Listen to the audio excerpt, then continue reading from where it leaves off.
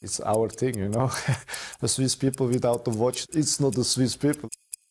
I don't know why. Uh, you, you, you grow up like this. This is Swiss. It's like the chocolate and the cows. It's like uh, the watch. Is the most important thing in Switzerland.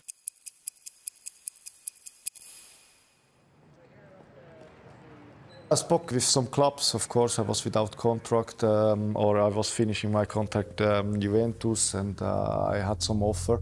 And then, of course, Arsenal was on the on the top three from the clubs on the offers I had.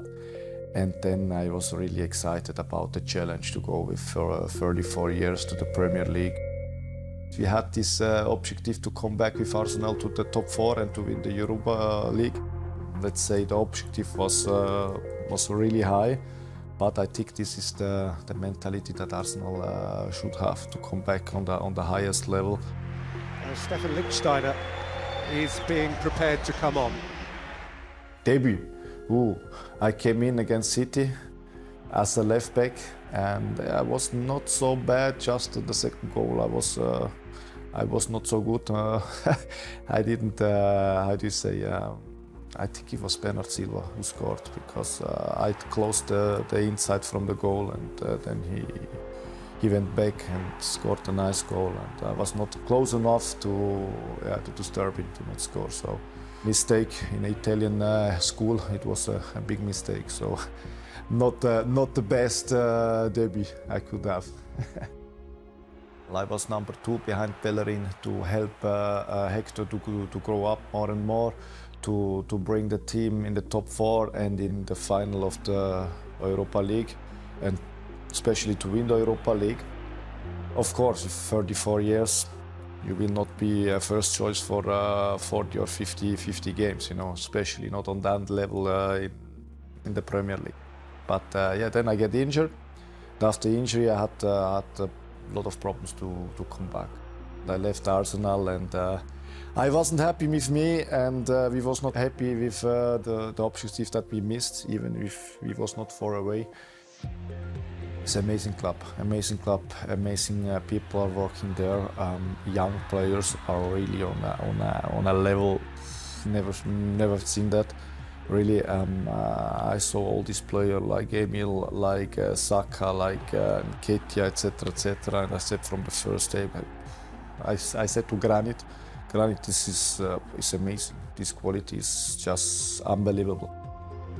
I wanted to play every time on a high level and uh, already the time in Arsenal I felt now it started to be very difficult. Then you need to do a choice, family or football. And with 36 years I said, okay, uh, it's time to go, it's time to stop because, uh, um, yeah, you feel also your body is not anymore on that level. And to just continue to play football on on lower levels, it's not for me. It was like a small village close to, to Zurich where I live now with my family and we have their men's club, you know. So um, we had uh, an evening together with uh, with Maurice de Mauriac. They came and they showed us the watches and everything. And I'm a watch lover. Uh, years ago now. I like it really. Uh, it's something that, uh, especially as a Swiss, you know, you need to you need to love the watches. Somebody walked in looking like Stephan. We're like, wait a second. That, no, that can't be Stephan. In such a village, makes no sense that Stephan is here, and is a hero of us. Uh, especially my brother loved Juventus, and he like, you know, I have to go afterwards to speak to him and say, he looks like a twin. He looks like Stefan.